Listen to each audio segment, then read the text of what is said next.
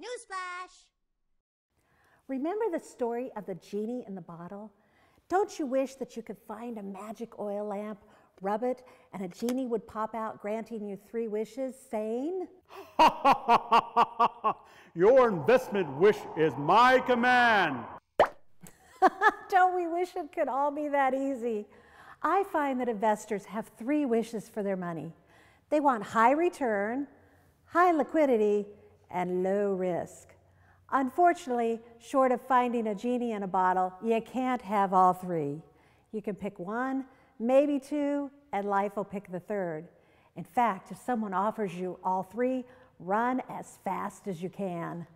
The last time that anybody found a 14% rate of return on an FDIC insured CD was way back in 1982.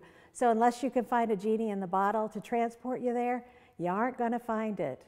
I focus on balancing liquidity and safety with return. That's a fact.